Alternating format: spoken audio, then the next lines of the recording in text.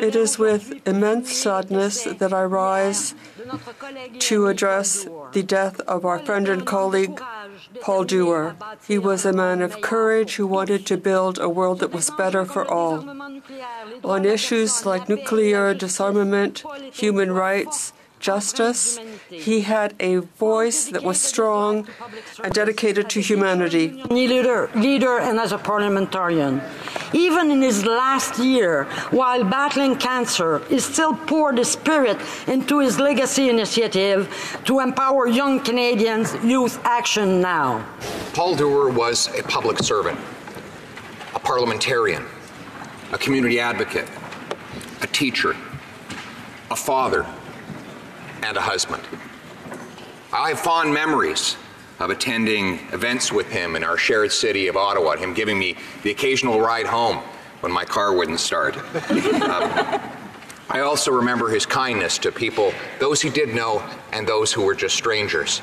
We lost Paul yesterday, a tragic loss to his family and to the entire city. On behalf of Conservatives, I offer his family our condolences. Paul was a true parliamentarian.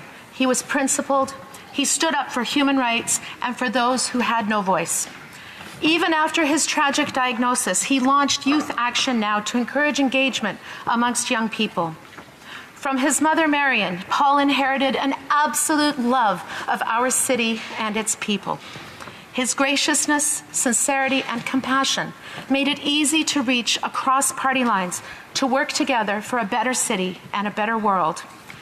Today, Ottawa has lost one of its great citizens. He was a good man, and he leaves behind him a legacy of devoted service to his country and his community.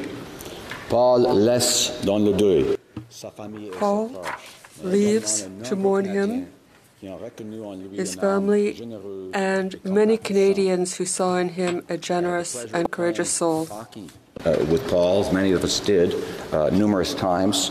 And I can tell you that by MP hockey standards, he was a very good player.